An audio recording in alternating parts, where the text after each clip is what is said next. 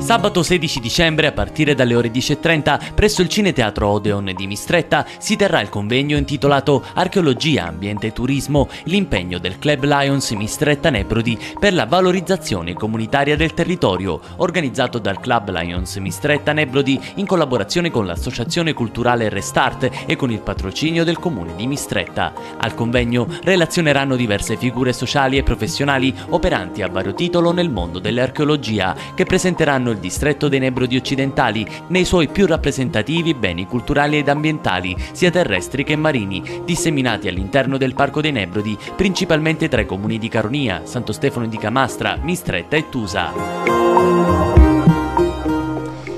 Si parlerà di turismo e sviluppo del territorio domani in un incontro che si terrà a Mistretta. Sabato mattina questo incontro a Mistretta, quali sono le finalità di questo progetto? Le finalità sono quelle di fare un po' il quadro della situazione in maniera unitaria e completa delle eccellenze ambientali, archeologiche, artistiche e architettoniche che abbiamo perché purtroppo spesso ci facciamo la guerra di paese o addirittura di quartiere e invece il territorio dei Nebrodi occidentali è unitario come ci insegna l'archeologia. Quindi questa è la premessa, poi la finalità è quella di innescare un dibattito tra le varie componenti della società, dai privati alla scuola, ai liberi professionisti, a chiunque abbia delle idee per promuovere in sinergia questo territorio. Noi approfittiamo anche delle vostre telecamere per invitare tutti quanti, i privati cittadini o le associazioni, in primis gli amministratori, gli operatori del turismo, i liberi professionisti come architetti, ingegneri, archeologi, storici dell'arte, guide turistiche, semplici appassionati, storici, chiunque abbia a cuore i beni culturali ed ambientali eh,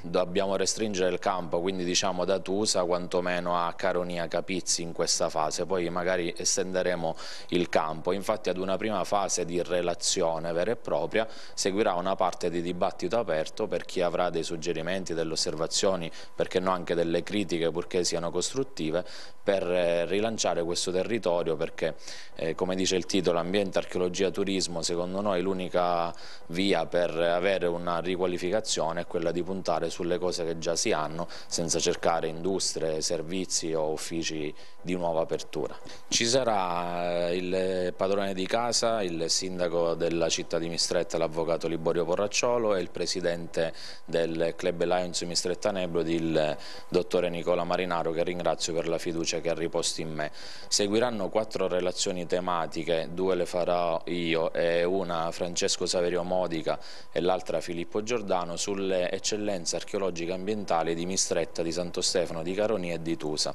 Poi ci saranno due approfondimenti tematici molto interessanti interessanti, fatte una dal dottor Davide Gori che parlerà di archeoastronomia sul Tempio di Diana della Rocca di Cefalù e una del dottor Emanuele di Giampaolo che parlerà delle nuove tecnologie di fruizione dei beni culturali a finalità turistiche perché lui viene dalla eh, favorevole esperienza di Bonpietro che sicuramente è un piccolo centro non migliore dei nostri qualitativamente che però si distingue negli ultimi anni per il MAV, il Museo di Archeologia Virtuale. Quindi vogliamo portare questi esempi virtuosi. E poi come detto in chiusura chiunque dirigenti scolastici, liberi professionisti, amministratori vorrà prendere la parola eh, sarà belieto, saremo ben lieti di ascoltarli anche perché è nostra intenzione da qui a qualche tempo poi pubblicare gli atti di questo convegno.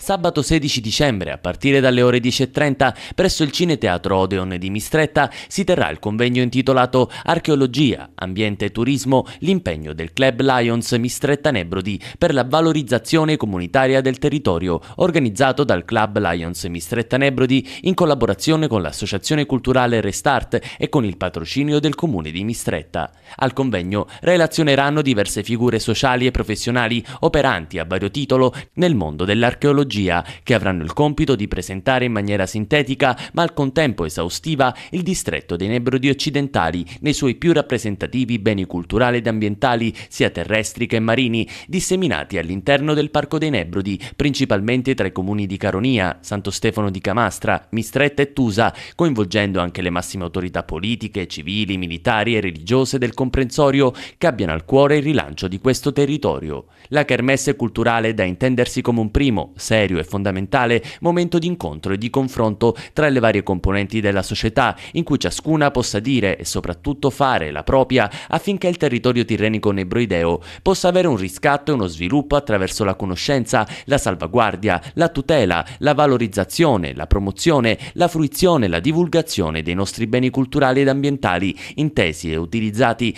finalmente come volano per attrarre, per produrre turismo. Tutte le associazioni, i professionisti dei beni culturali ed ambientali, gli operatori del turismo, gli insegnanti, gli studenti e i cittadini nebroidei, tutti sono invitati a partecipare.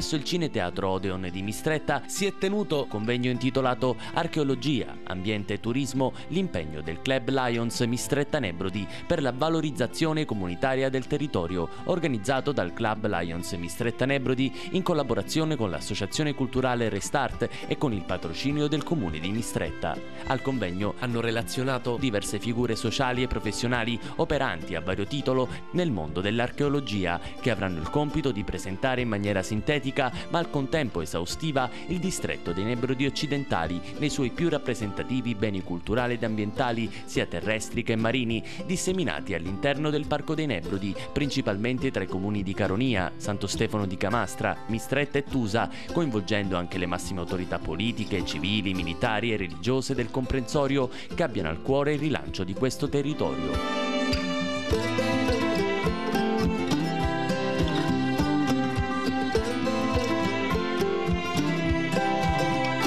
Abbraccia il, la parte di territorio dei Nebrodi dove risiede il club e diciamo parte, si parte da Mistretta, Caronia, Santo Stefano, Motta da Ferma e così via, tutti questi paesi. È importante, io credo che sia eh, una iniziativa importante perché è assolutamente necessario occuparsi appunto come dice anche il titolo del service perché è un service Lion la valorizzazione comunitaria del territorio. Noi mh, siamo convinti, eh, dopo aver ascoltato anche del, degli esperti, anche esponenti della società civile, che l'unica strada possibile per uno sviluppo della nostra isola e in particolare del nostro territorio sia il turismo perché eh, il turismo è quello che può portare gente da fuori, mm, eh, noi abbiamo l'esperienza di Tusa, della Marina di Tusa, che per il terzo anno ha avuto la bandiera blu e che vede ogni anno una, un, la presenza di un grosso turismo che viene da fuori. Ecco, noi vorremmo che tutti, tutto il territorio dove appunto risiede il club diventi così, ma non solo sul mare, anche all'interno eh, l'ambiente, i territori, i parchi, tutto quello che abbiamo che devo dire trascurato, molto spesso trascurato e quindi noi vogliamo rilanciare sia la conoscenza di questi settori che poi se possibile farli diventare una fonte di reddito per questo nostro territorio che ne ha proprio bisogno. Abbiamo anche delle prove che eh, sono diffuse nel territorio, ma alcuni privati che hanno valorizzato diciamo, loro beni eh, riescono a richiamare tantissimi turisti dall'estero, so che vengono dalla Germania, dalla Francia, dall'Inghilterra,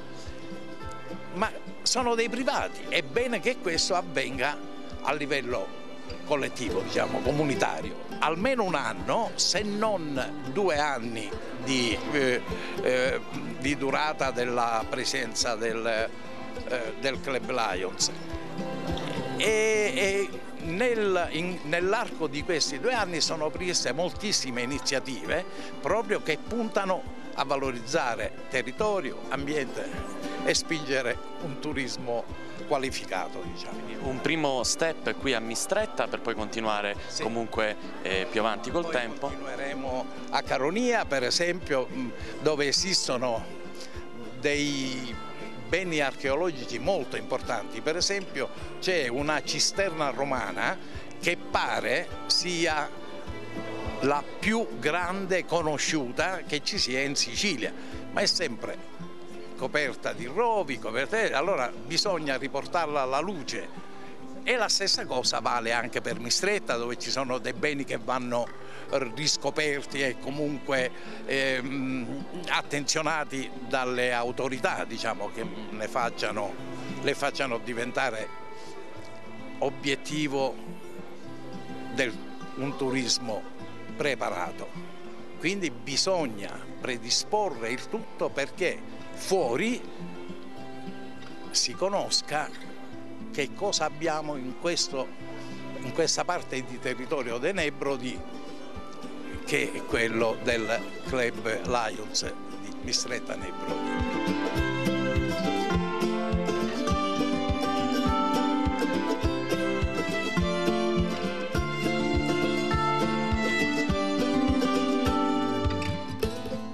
La nostra mm, zona, quella nebroidea, a mio avviso non è vocata né a grandi infrastrutture né a grandi impianti industriali né al terziario spropositato, quindi l'unica cosa che noi abbiamo già, che però ogni tanto dimentichiamo di avere e ce l'abbiamo sotto i piedi, è proprio la bellezza che ci hanno lasciato i popoli precedenti, lasciandoci tracce archeologiche. Queste tracce archeologiche sono inserite in un ambiente e i Nebrodi dal punto di vista paesaggistico non, hanno, eh, non temono paragoni e il turismo noi non ce ne accorgiamo ma indirettamente in maniera spontanea comincia ad esserci. Eh, sia quello enogastronomico sia quello religioso, penso ad esempio al santuario del letto santo di Santo Stefano di Camastra, ma anche alla semplice curiosità. A me nelle ultime due settimane è capitato di incontrare persone che non sono mai state a e che sono curiose di conoscere il cane polpetta, quindi per fare un esempio anche banale, eh, i nostri centri se fossero promossi alla maniera adeguata,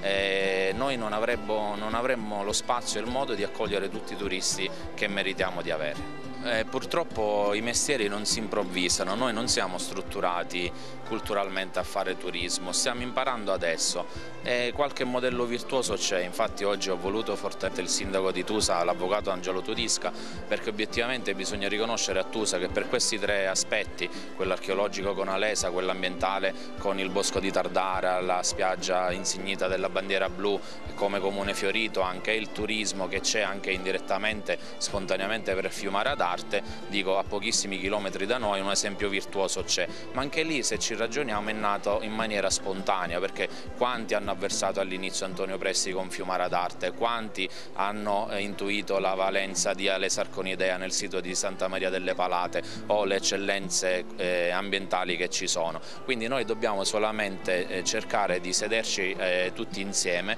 oggi l'intento è quello di fare rete tra i vari comuni, non vogliamo fare la lotta non solo di, di da città a città ma addirittura da quartiere a quartiere e fare delle strategie ragionate per il rilancio del territorio in maniera unitaria. I Lions sono i primi a riconoscere che spesso hanno fatto degli eventi per e tra Lions, invece così eh, si esce allo scoperto, si incontra la comunità in senso lato, dal mondo della scuola ai liberi professionisti, eh, dall'associazionismo agli amministratori degli enti locali, eh, appunto per fare una strategia comune. Il, il convegno, come ha detto il Presidente Nicolò Marinaro, è solo il primo punto di questo progetto che prevede poi delle visite guidate con delle guide abilitate e per questo oggi mostreremo delle slide ma poi sarà il bello andare sui luoghi a conoscere e a toccare direttamente con mano queste eccellenze che noi abbiamo. È prevista anche una serie di simulazioni di scavo nelle scuole, all'Istituto Comprensivo Tommaso Aversa per i ragazzi e addirittura la rievocazione storica di un simposio alla maniera antica quindi con cibi realizzati con materie prime tecniche tipiche dell'antica Roma, su ricette trovate e riproposte nell'antica Pompei e con abiti d'epoca e con stoviglie fatte in terracotta alla maniera degli antichi romani. E poi una pubblicazione finale che eh, comprenderà tutti questi passaggi, quindi gli atti del convegno, le visite guidate, eh, le simulazioni di scavo e il simposio affinché eh, chi non sarà presente fisicamente a questi eventi anche in futuro potrà veicolare quello fatto dal Club Lions Mistretta Nebrodi a cui va riconosciuto un impegno veramente eh, per il rilancio di questo territorio che non è comune. Già questa carta che è del 1684 ci dà un'informazione, ovvero che Santo Stefano non si trovava nella posizione in cui la conosciamo oggi, ma si trovava più in collina. E per farvi capire quanto sia interessante una carta, qua c'è una località che assieme ad un'altra, questa è Nomai e qua invece c'è Erbita, non sono state ancora localizzate, quindi è uno sprone per chi è in platea, soprattutto per i più giovani. Noi spesso ci eh, entusiasmiamo per Atlantide che è scomparsa, ma noi abbiamo due città probabilmente da localizzare nel nostro territorio da ricercare. Veniamo a Caronia, noi genericamente parliamo di archeologia, l'archeologia è fatta da tantissime sottobranche, una di queste su cui mi voglio soffermare è la numismatica, perché purtroppo negli antiquari e nei musei della nostra zona le monete sono contate, in certi musei non ce n'è nemmeno una, quando sappiamo che le monete erano molto diffuse, circolavano e avevano e hanno una valenza molto importante, che non è quella del valore intrinseco proprio perché una moneta di bronzo del genere assicurandola non supera i 35-45 euro.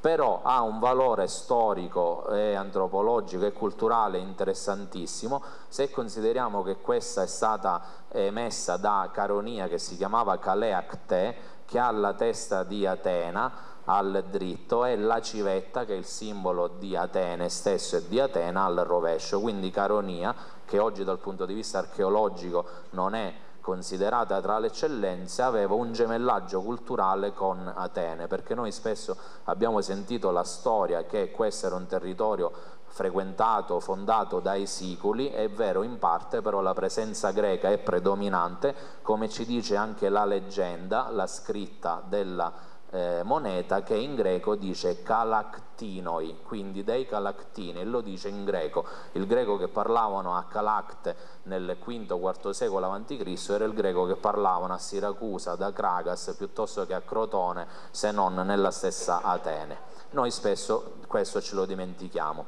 Lo dico anche soprattutto per i più piccoli, un'altra branca molto interessante dell'archeologia è l'epigrafia, lo studio di tutte le superfici scritte o con il colore a posto, è famosa Pompei per tutte le scritte che ci sono ad esempio e là si sono conservate per ovvi motivi, ma sono più eh, comuni quelle incise, quelle graffiti. Questo è un cippo di Quinto Cecilio Metello quindi qua invece già siamo nella fase romana perché Caleacte come tutte le altre nostre città alla fase greca vede una florida fase romana. Una breve panoramica, invito mm, anche però quando sarà possibile perché dobbiamo dirci la verità eh, alcuni siti non sono accessibili attualmente e qui va il, il, mio rimprovero agli enti che la gestiscono. Qua siamo in contrada Pantano nella zona costiera di Marina di Caronia, Punta Lena per chi bazzica più il mare, dove è stato individuato il quartiere portuale dell'antica Calais Acte. I greci la chiamarono Calais Acte, i greci sottolineo, perché Calais vuol dire bella e Acte ha la doppia valenza, costa sì, ma anche promontorio. E se guardate Caronia dalla marina è sia costiera che collinare, quindi i greci ci hanno azzeccato anche nel nome. E siccome il commercio predominante era quello che si faceva per mare, il quartiere portuale è stato individuato anche con delle anfore particolari. A ridosso di quel eh, di quel quartiere che comunque comincia nel V secolo a.C., siamo agli albori, eh, Caleacte ufficialmente viene fondata nel 447 a.C. da Ducezio, ci sono delle preesistenze successive, questa è una bellissima cisterna di età romana in cui insistono poi se guardate nel piano delle sepolture, perché spesso in archeologia, per non dire sempre, c'è sovrapposizione cronologica e culturale, delle sepolture di epoca bizantina quando la cisterna non era più utilizzata.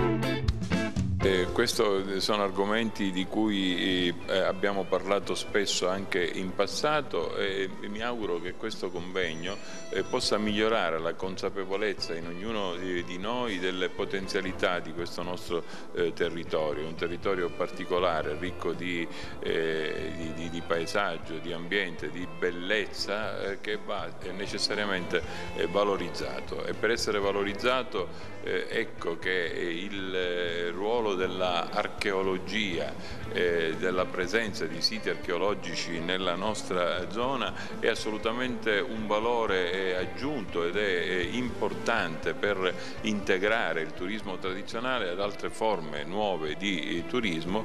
che possono attrarre visitatori nel nostro territorio. Quindi un convegno ben organizzato con un pubblico molto qualificato e attento con la presenza di giovani, quindi complimenti al Lions, al suo eh, presidente eh, dottor Marinaro per l'organizzazione di questo convegno. Ce ne vorrebbero oh, tanti di questi convegni perché parlarci gli operatori, eh, tutti coloro eh, i quali hanno un ruolo, sono interessati allo sviluppo del territorio, è utile eh, per, non solo per un confronto, per un dialogo, ma anche per creare nuove idee eh, di crescita e di sviluppo della, della nostra terra.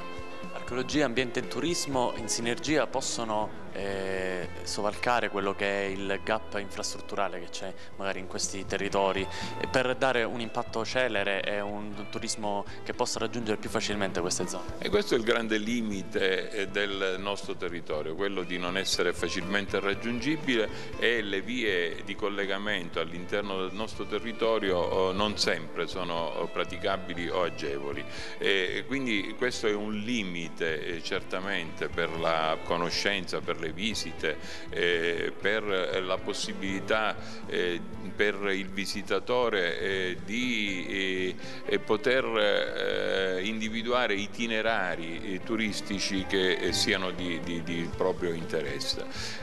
dobbiamo superarlo, dobbiamo fare in modo che la zona dei Nebrodi ci si venga più facilmente, ci si arrivi più facilmente e quindi la vecchia storia dei, del doppio binario, le che sono eh, ridotte in una maniera veramente indicibile e la, la, la presenza di uno scalo aeroportuale eh, sarebbe certamente utile, fatti di cui eh, abbiamo sempre parlato e su cui dobbiamo oh, certamente lavorare. Eh,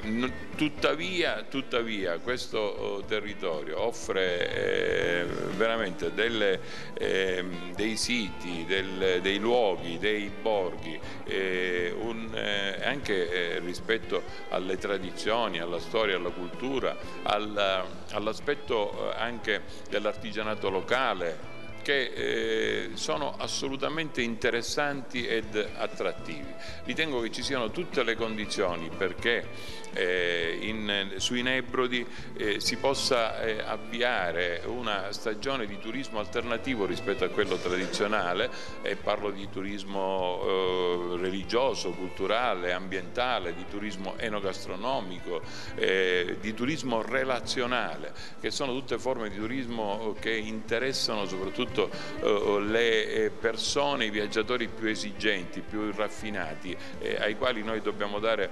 delle risposte più precise in termini di accoglienza ed è quindi nell'accoglienza, nelle piccole cose che dobbiamo migliorare perché poi i, i, i visitatori valutano, hanno la misura della, della qualità eh, del, del, del, loro soggiorno dall'accoglienza e dall'ospitalità e dall'organizzazione dei servizi sul territorio. Il, il governo regionale deve assolutamente assecondare tutto quello che viene organizzato e, e la capacità di sintesi, di, di, di, di, capacità di coalizzarsi da parte eh, del territorio per offrire alla Regione e quindi alle fonti di finanziamento che vengono soprattutto eh, dal, dall'Europa dei progetti che siano assolutamente validi e condivisi. Quindi il compito della Regione è solo questo, di, eh, di assecondare, consigliare, eh, partecipare grazie all'esperienza dei loro eh, funzionari, dei loro dirigenti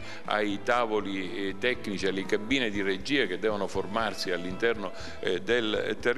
ed insieme capire quali sono le linee strategiche che devono essere progetti assolutamente integrati per il nostro territorio. Eh, ritengo oh, che il Presidente Musumeci con la sua squadra in questo senso possa dare una svolta, possa un po' come dire, rivitalizzare la burocrazia regionale che è il grande limite eh, purtroppo eh, che ostacola eh, un'accelerazione della crescita eh, sul nostro territorio dal punto di vista del turismo.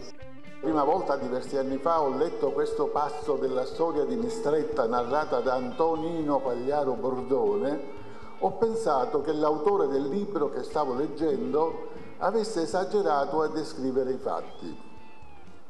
Successivamente, avendo modo di leggere diversi autori classici dell'epoca, i quali fra di loro concordano su quello storico episodio, mi sono convinto che in pratica quel fatto accade realmente, anche se all'epoca il nome della città non era ancora Mistretta, bensì Mitistrato. L'episodio di cui si parla avvenne durante la prima guerra punica che si combatté in Sicilia fra l'esercito romano determinato a conquistare la Sicilia che all'epoca era in gran parte occupata dai cartaginesi, compresa Mitistrato. Nel 261 a.C. l'esercito romano tentò di conquistare Mitistrato senza riuscirci.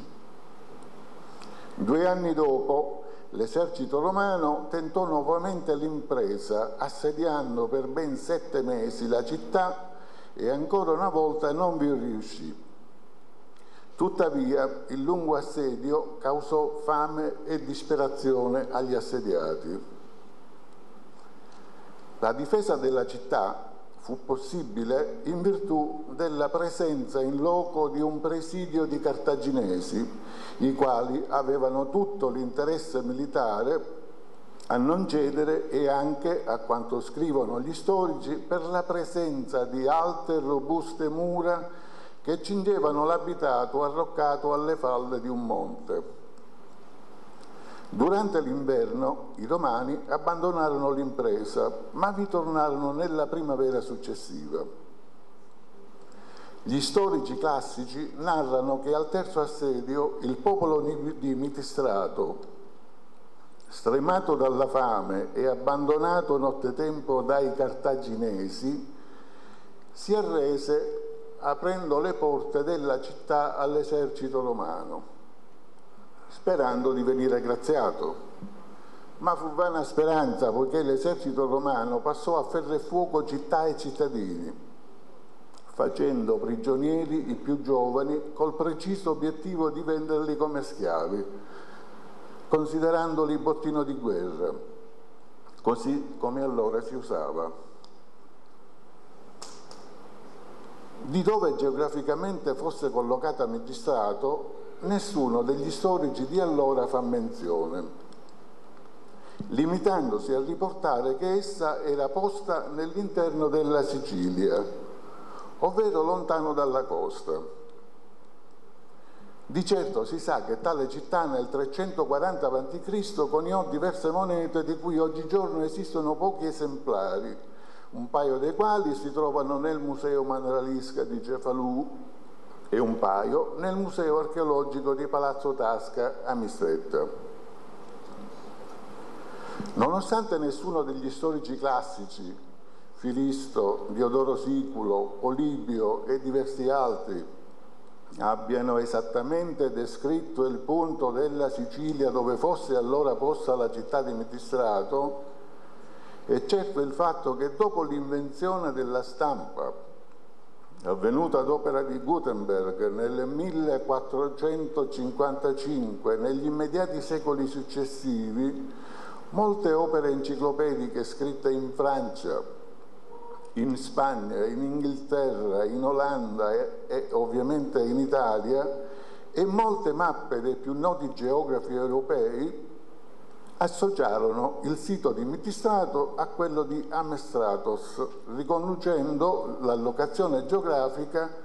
al sito topografico di Mistretta. L'abate Vito Maria Amico storico catanese di chiara fama, vissuto fra il 1690 e il 1760, autore del primo dizionario storico della Sicilia, del quale si narra che abbia personalmente girato per i paesi, descrivendone lo stato in cui si trovavano, in tale sua opera associa la triade topografica Mitistrato, Amestratos, Mistretta e nel descrivere la cittadina racconta che fossero ancora visibili i resti di antiche mura di cinta della città. Fino alla fine del XIX secolo, quindi, la stragrande maggioranza degli storici e dei geografi europei ebbe concorde parere sul fatto che le origini storiche di Mistrata trovassero radici nell'antica Mitistrato evidentemente perché tale informazione si era in origine verbalmente tramandata lungo il corso dei secoli e con l'invenzione della stampa fu trascritta nelle enciclopedie, nei dizionari e nelle mappe geografiche.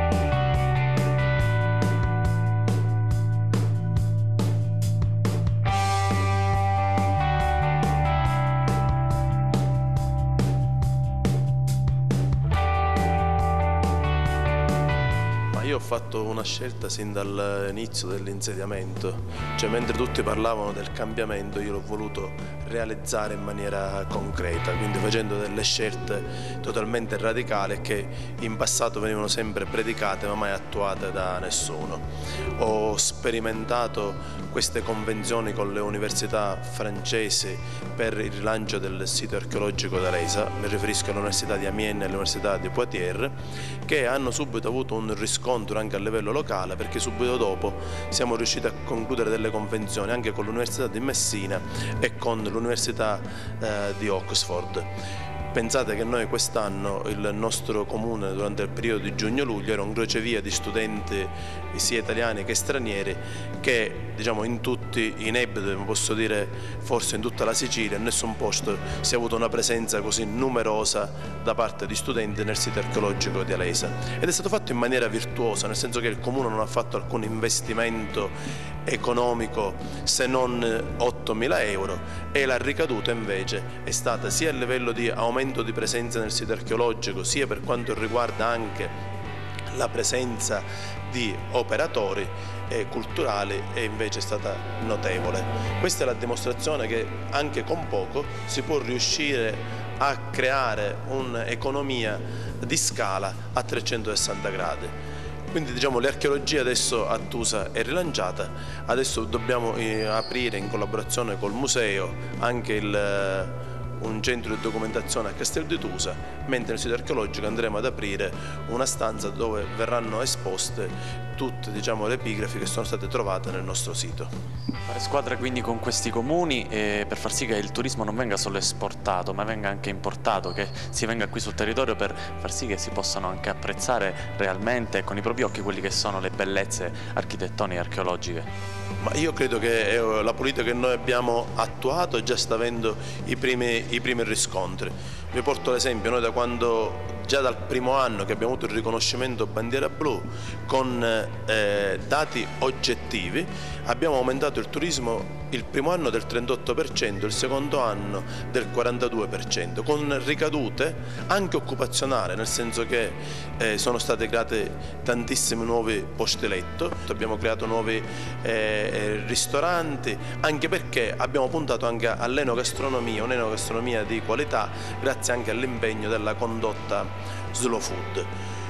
Quindi tutto questo fa sì che il turismo nei nostri comuni si può fare. Adesso abbiamo un'altra grande sfida, che è la sfida quella di destagionalizzare. Infatti noi pensiamo già, da, abbiamo già in programma di realizzare nelle quattro stagioni delle quattro feste fatte da più giorni, in maniera tale diciamo, da far sì che la gente sappia che a Tusa eh, si organizzano delle attività che vanno a puntare sia l'aspetto culturale, quindi con visite guidate, ma sia l'aspetto eh, enogastronomico, con, eh, realizzando delle locande che vanno a premiare e a esaltare quelli che sono tutti i prodotti di qualità presenti nell'intero comprensorio.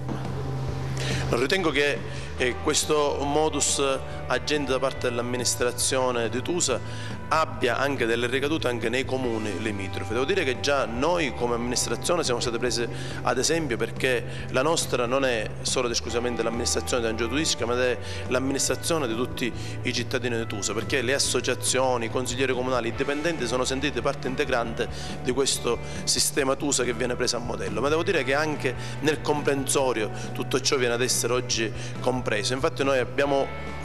creato questo sistema a 360 gradi che ha fatto sì che i campanili non, sono, non servono per mettere delle bandiere per dire uno è più bravo dell'altro, ma li stiamo utilizzando per poter vedere lontano e quindi noi vogliamo salire in tutti i campanili perché per me quello che viene fatto a Mestretta, a Castel di Luce, a Pettenea, a Motto e a Santo Stefano ha sicuramente una ricaduta anche su Tusa. E se riusciamo finalmente a fare questo ulteriore cambiamento che è un cambiamento di mentalità ed è un cambiamento territoriale a 360 gradi, credo che questa uh, fascia di territorio può diventare un'eccellenza così come è diventata la spiaggia di Castel di Tusa con bandiera blu e con l'operato di Antonio Presti di Fiumara d'Arte.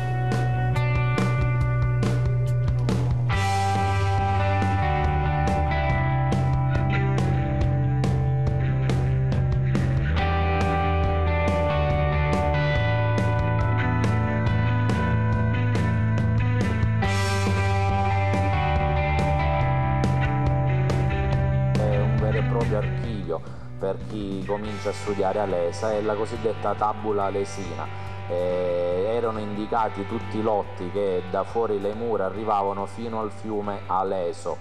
Mi permetto di sottolineare la vocale finale di questa parola perché impropriamente si sente eh, dire qualcosa che non si dovrebbe dire. Eh, prima all'inizio vi ho detto che io punto molto sulle parole, è inappropriato dire Valle della Lesa, scusatemi, bisogna dire Valle della Leso perché il fiume è al maschile, come io dico Simeto e dico altre cose, dico Aleso se intendo la valle in cui scorre il fiume, se poi intendo invece la città basterebbe dire consorzio o altre cose della valle di Alesa, perché noi non siamo a Milano, non è che diciamo la Luisa, la Marianna, la Alesa, quindi di Alesa. Consentitemi, siccome ho pure fatto l'amministratore, le carte dovrebbero camminare giuste. Numismatica d'Alesa non basterebbe tutta la mattinata. Vi faccio vedere questa con Artemide e Apollo perché Artemide e Apollo c'erano anche nelle monete che sono andate velocemente sotto la relazione di Filippo Giordano, quindi c'era un gemellaggio culturale, le stesse monete che coniava Amestratos in quel caso, le coniava pure Alesar con idea, questa assieme a tantissime altre, non si contano le emissioni monetali di Alesa, alcune veramente particolari, una su tutte con delle mani che si stringono per l'alleanza stipulata con i romani.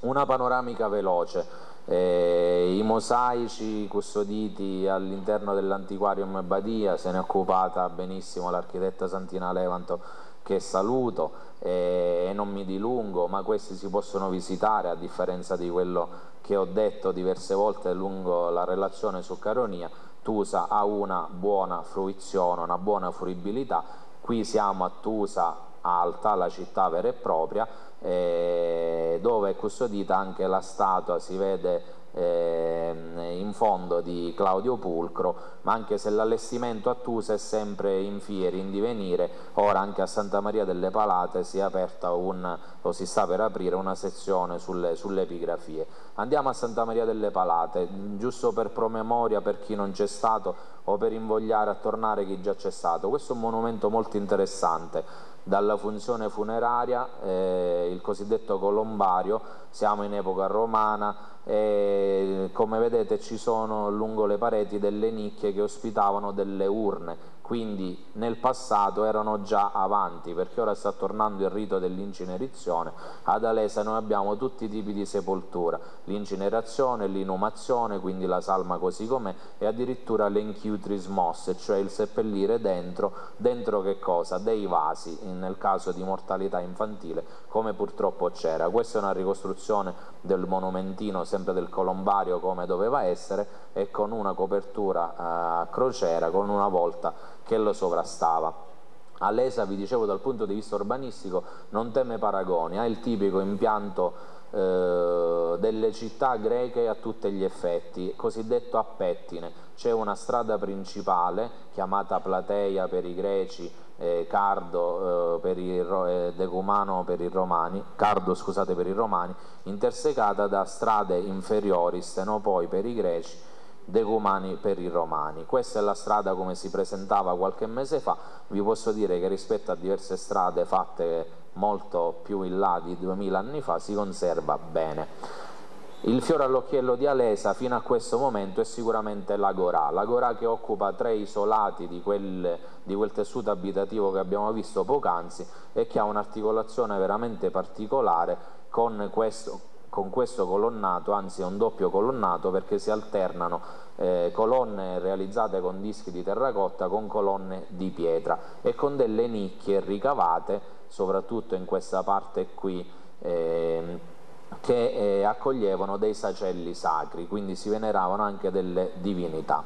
L'Agorà, come tutte le cose e tutti i luoghi, ha avuto un'origine, un, un, momento di evoluzione e poi una fine. Quando finisce l'uso dell'Agorà, che voi sapete meglio di me, l'Agorà per i greci, il foro per i romani, era il cuore della città dove eh, il commercio, la religione, la politica eh, e quant'altro trovavano eh, espressione in quel luogo, i bizantini la utilizzarono invece, videro, trovarono questo campo aperto come luogo di sepoltura. Infatti una quarantina di sepolture bizantine, questa è una foto in cui c'erano ancora gli scheletri in situ, sono, insistevano sul piano di cotto dell'Agorà. Oggi ne rimangono un paio giusto a vista. Eh, questa era, eh, non, era, non, era, stata fatta ancora l'anastilosi, in questi giorni si dibatte se ricostruire rialzare le colonne di, che sono cadute rispetto a un tempio o a qualcosa, questa quando la cosiddetta casa Peristilio, che era una delle, delle case eh, sotto l'Agorà che era abitata da qualche personaggio in vista, ancora non aveva la, eh, quelle colonne che oggi sono tipiche. Questo è un momento di quest'estate perché dobbiamo dare merito alla prologo di Tusa, perché il comune di Tusa si è fatto dei passi avanti e correggimi se sbaglio sindaco perché c'è sinergia e interazione fra le varie parti e la prologo o comunque le associazioni di Tusa organizzano tantissimi eventi. Questo è un evento fatto come visita al crepuscolo da Lesar con idea e non sto esagerando, Credetemi, i visitatori che abbiamo portato noi in una sera sono finiti persino i biglietti, Alesa non li vede in un mese e mezzo.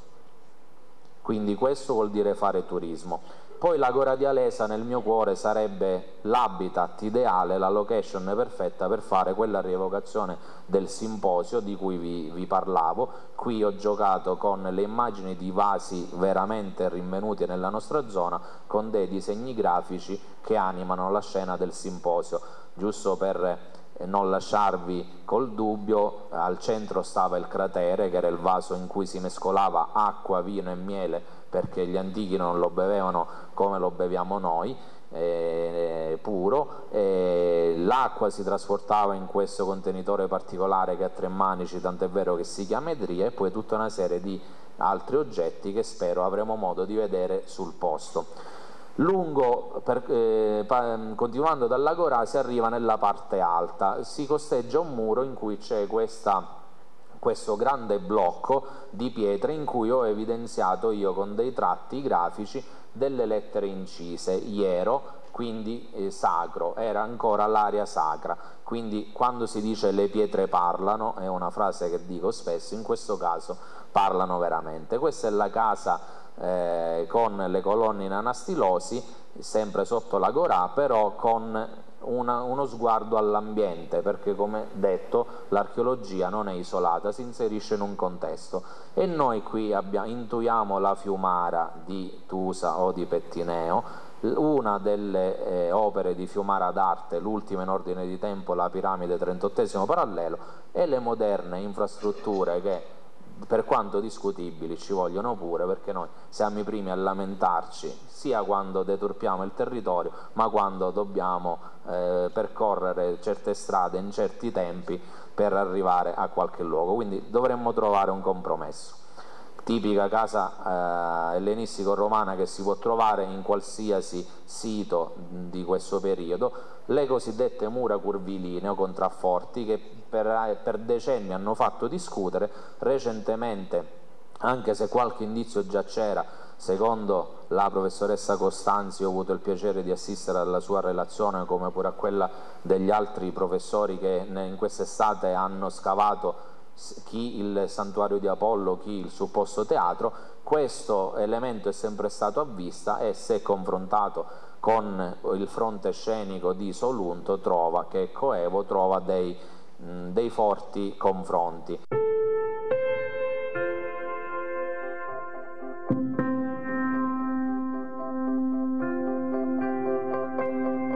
Innanzitutto permettetemi di ringraziare il Club Lions Mistretta Nebrodi e l'Associazione Culturale Restart proprio per aver scelto la nostra cittadina quale sede di questo importante convegno. Questo può essere secondo me a mio avviso un trampolino di lancio per i nostri territori, quindi questo trinomio ambiente, archeologia e turismo è sicuramente qualcosa che noi dobbiamo eh, rivalutare questo oggi ci deve far capire che questi territori non fanno più, eh, l'economia di questi territori non può più basarsi su quelli che erano i servizi che un, eh, qualche anno fa potevamo, potevamo offrire. Quindi oggi dobbiamo fare sistema, dobbiamo fare rete, dobbiamo mettere assieme tutte le nostre comunità quindi i territori di Caronia, di Mistretta, di Tusa, di Santo Stefano, sfruttando quelle che sono proprio le bellezze architettoniche, quella che è l'offerta museale, quelle che sono anche i reperti archeologici presenti sul nostro territorio. Quindi noi ad esempio a Mistretta abbiamo in corso una campagna di scavi che eh, sono, sono, emersi accidentalmente a seguito dei lavori che stavano avvenendo nel centro storico. Ritengo che questo eh, possa essere anche eh, un, un, sito molto interessante da un punto di vista archeologico e se è legato a quelli che sono i rinvenimenti di Tusa, soprattutto di Alesa, di quelli che sono gli altri rinvenimenti che sono fatti nel territorio, possono essere effettivamente un'attrattiva per essere un turismo eh, particolare, un turismo che è, è molto vicino, molto attento a quelle che sono le bellezze naturalistiche dei nostri territori. Sì, io infatti nel mio saluto ho eh, voluto anche rivolgermi ai giovani. Per esempio nell'area interna Nebrodi abbiamo voluto eh, come focus tematico legato all'istruzione porre un'attenzione particolare a quelli che sono gli indirizzi di studio nuovi. Abbiamo eh, cercato di eh, proiettare questi territori al di là di quelle che sono le, eh, le attuali gli attuali corsi di studio. Ho rivolto la mia attenzione ai giovani chiedendo, eh, anche perché ho manifestato loro quella che era eh, l'idea che, che, è nata nei focus tematici all'interno dell'area interna Nebrodi. Quindi abbiamo eh, cercato di affiancare quelli che sono i corsi di studio tradizionali presenti nel nostro territorio con un nuovo indirizzo di studio, una sorta di liceo archeologico che possa, essere, eh, che possa diciamo, trovare l'attenzione dei ragazzi e eh, ho detto anche loro che l'archeologia non è qualcosa di antico, qualcosa di polveroso, deve essere fatta, se fatta con attenzione, se fatta con eh, un certo spirito può anche essere da stimolo verso nuovi eh, indirizzi, verso nuovi corsi di studi, verso nuove attrattive per i nostri territori. Il mio genere è costituito da banchi di, di argilla appunto che ha reso famosa Santo Stefano di Camastra in tutto il mondo per le pregevoli ceramiche e da arenarie micace quarza arenitiche quasi.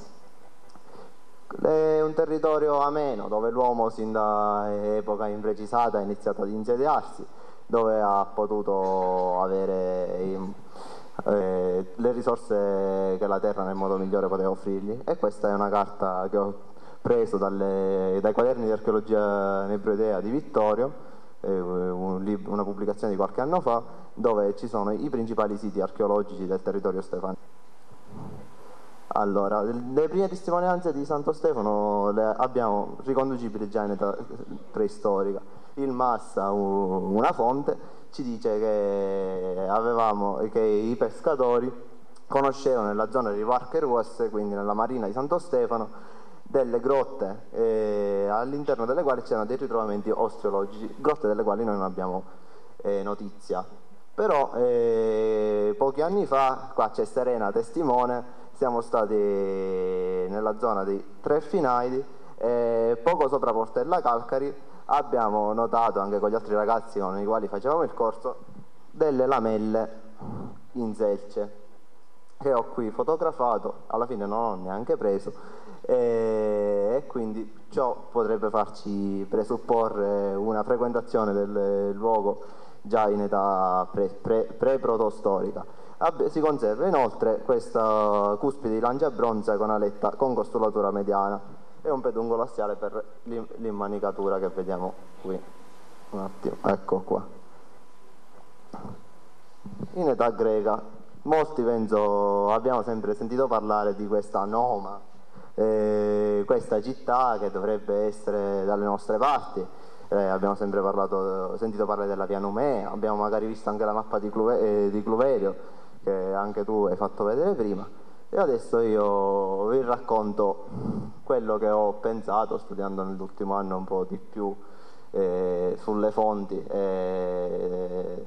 e su questo argomento che mi è sempre interessato. Quindi nel XVII secolo Cluverio, un eh, geografo, nella carta geografica della Sicilia antica pone Nomai nei dintorni di Amestrato in base a un passo di Silio Italico. Silio Italico è uno storico che nel primo secolo d.C. fa un poema e si chiama Punica. È un poema in versi dove parla appunto delle guerre puniche e in, questo, in un verso si legge Comitata nomeis venit a Mastraviris. Questo fa presupporre, dato che le guarnigioni di Mistretta e di Nomai venissero insieme, che fossero due città vicine. Stessa cosa conferma Vito Amico, uno storico catanese di cui tu hai già parlato, il Massa già citato, che asseriscono dunque che il nome dovesse essere dalle nostre parti. A Mistretta, l'avevo già detto prima, è presente la via Numea, però non è chiaro a partire da che epoca questo, questa via prende questo toponio, quindi non sappiamo. Questa via in teoria dovrebbe portare verso questa città di Nomai, passando per Romei e poi risalendo nella montagna del Letto Santo, nella quale Pagliaro Bordone dice di aver trovato delle testimonianze archeologiche. Questa è la mappa di cui vi parlavo prima di Filippo Cloverio e è il, questo è il dettaglio della mappa dove vediamo nome ma in questo caso come in tutte le altre mappe che sono state fatte dopo sul modello, sul modello di quella di Cluverio è situata non tanto nel territorio di Santo Stefano ma in un'area compresa tra i fiumi Alaiso, quindi il Tusa e il Monalos, il fiume Pollina, zona di San Mauro Castelverde, ma lasciamo stare. Non sappiamo cosa ha portato a metterla lì. A che dici? Patriottismo esasperato dagli stefanesi. Quindi, Norma non è citata, è citata da altre fonti oltre a Sidio Italico e lo troviamo in Diodoro Siculo, biblioteca storica. Molti di voi conosceranno, spero, la storia di Ducezio, il re dei Siculi, che oh, i Siculi sono la popolazione che era in Sicilia insieme ai Sicani e agli Elini prima dell'arrivo dei Greci. A un certo punto, nel V secolo, decidono di allearsi insieme e creare una Siunteleia, quindi un'organizzazione autonoma dei greci, che però non, per forza in contrasto con questi ultimi. E Ducezio, eh, preso dalla voglia quindi di ampliare il potere dei siculi e ristabilire la, propria, la, la, la loro autonomia, conquista Aitnenessa, una città nella valle del Simeto. Allargatosi ad ovest nel 451 a.C. occupò Mozion, questo è un Frurion, quindi una base, una cittadella fortificata che è stata individuata dagli scavi della Pambini, un'archeologa eh, del, del, Catanese mi sembra, nella zona di Vassallaggi in provincia di Caltanissetta. Quindi in questo, in questo luogo Ducezio sconfisse le forze coalizzate di Siracusa e Agrigento, che erano le maggiori città greche dell'epoca. Passato l'inverno, durante il quale si era accampato a Nomai, venne ivi sconfitto da Siracusa e da Agrigento e Ducezio appunto si rifugiò supplice verso gli altari siracusani. Graziato fu mandato in esilio e tornò nel 446 fondando, come già detto, Caleacte. Perché viene fondata Caleacte? Sì, è l'ultima affermazione dell'elemento siculo, una nuova capitale dei siculi possiamo interpretare, ma c'è il consenso di Siracusa. Siracusa era già entrata di nuovo in conflitto con Agrigento e aveva bisogno di avere i suoi interessi sulla costa settentrionale dell'isola, che ora vediamo. Questo è il passo di Diodoro Siculo, dove leggiamo appunto Noma. Ecco. Avevano bisogno di ostacolare, eh, i siracusani avevano bisogno di ostacolare eh, i traffici che gli agragantini avevano sulla costa settentrionale dell'isola e richiamando Ducezio e con la collaborazione della città di Erbida del tiranno Arconide I vanno a fondare Caleacte. Abbiamo visto questi, abbiamo sentito nominare questi posti, a Itna, eh, Mozion, eh, Siracusa, Menaino e Paliché sono la, sono la patria dei siculi, Paliché era stata fondata addirittura da Ducezio, automaticamente potremmo pensare che Nomai possa essere collocata in una zona centrale tra Itna e Mozion, quindi da, eh, in un'area nell'area della Sicilia centro, centro-orientale al, tra le pendici settentrionali degli Iblei e, la piana di Catania. A dare maggiore certezza a questa collocazione di nome è un prezioso documento epigrafico, la lista dei teorodocoi, i quali nella pro, eh, ospitavano nella propria casa i teoroi delfici che venivano in Sicilia per invitare le varie città a partecipare ai giochi delfici. Questa epigrafe risale alla fine del III secolo a.C. e in essa è visibile l'itinerario che i teoroi compivano per passare nelle varie città. Essi parte, partevano da, da Camarina, in questo, in questo tratto dell'epigrafe, vediamo che partendo da Camarina passavano da Ibla, da Ergezio e poi arrivano a Noai, che è la forma contratta, è una forma corrotta per i più di Nomai. E la linea successiva è mancante, non sappiamo quale città eh, seguisse Nomai nel, nell'itinerario dei, teoro, dei, dei teoroi delfici. Ci sono due ipotesi, per alcuni è, sono gli Assirini, la città de, degli Assirini, quindi Assoro, per altri è Agatiurnon, quindi è stata collocata nella zona di Capo d'Orlando. E... Stando a queste epigrafi, quindi se vogliamo far coincidere Noai con la, come forma corrotta di Nomai, di Nomai eh, andrebbe collocata nell'insediamento nella città sicura ritrovata, ma eh, ancora senza nome, di Monte Iudica. E anche continuando con l'itinerario, Camarina Ergezion nelle pendici settentrionali del Blake, ci sono diverse montagne nella zona di Ricodea Obea, Monte Casasia tra, tra i tanti, Astorus, nell'altra presentazione c'era la stessa teoria riproposta però con eh, Agatiurnon che andrebbe a far spostare la collocazione di nome in un'area più interna e più vicina alla nostra, alla, all'area nebrodea, magari de, dei nebrodi meridionali. Questo, eh, questa teoria ha un vantaggio dal anche dal fatto che Plinio il Vecchio nomina la popolazione dei Nomei collegata a quella dei, dei, eh, dei Tissensi. Tissa di recente è stata quasi con certezza individuata nella zona di Randazzo, c'è anche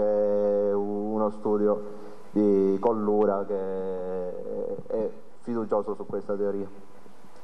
Tornando al poema Punica di Silvio Italico, nei codici manoscritti che ci hanno tramandato il poema si legge però Comitata mena, mena, Menois Venita Mastraviris. Nomei sarebbe quindi